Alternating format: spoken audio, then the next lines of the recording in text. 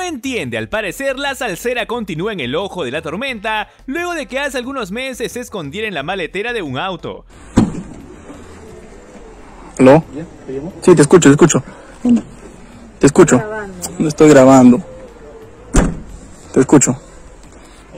Yajaira Plasencia fue grabada por las cámaras de Amor y Fuego juergueando en una discoteca, pese a estar prohibido por la pandemia. Pero eso no fue todo, la cantante quiso continuarla en una vivienda en La Molina, pero no contó que nuevamente la policía la iba a intervenir cuando los tragos apenas llegaban.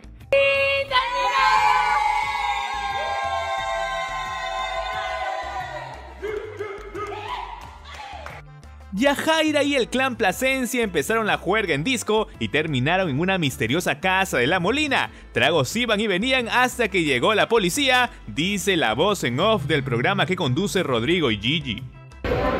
Voy a entrenar, vamos a comer.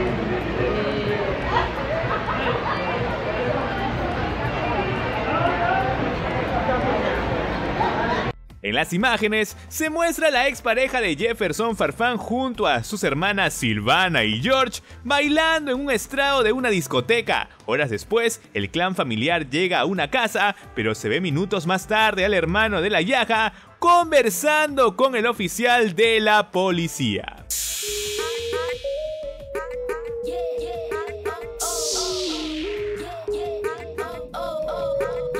Al parecer, la irresponsabilidad no se le quita a Jaira Plasencia por más de pedir disculpas públicas y hacer el ridículo en una maletera.